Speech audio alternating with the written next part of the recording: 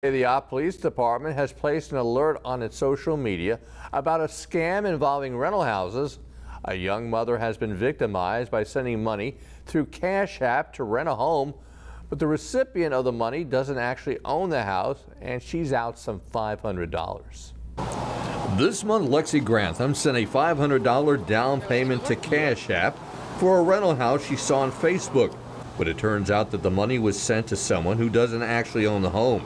After sending the payment, the home was removed off Facebook and the contact number is no longer reachable, putting the mother of a seven month old son in a difficult financial predicament. address, phone numbers, like all family information. It was put out there because I thought I was getting a, like a house and a landlord, you know. And yeah, I mean, not even to mention the like financial parts of it. It's just like scary because obviously these are mean people. And Assistant Chief says the old adage does apply. If it seems too good to be true, it probably is.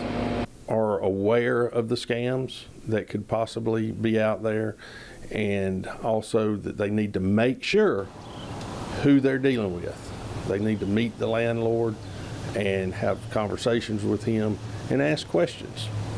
Assistant Chief Harrell says to prevent falling victim to such scams, take extra steps in verifying the authenticity of the rental property and the person claiming to be the owner. If you suspect any suspicious activity or think it might be a scam, don't hesitate to reach out to your local law enforcement.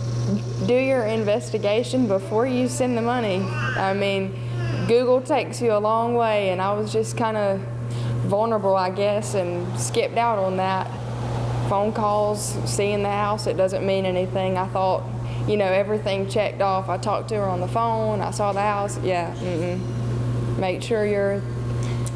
The GIS website, which I knew nothing about, will take you where you need to be.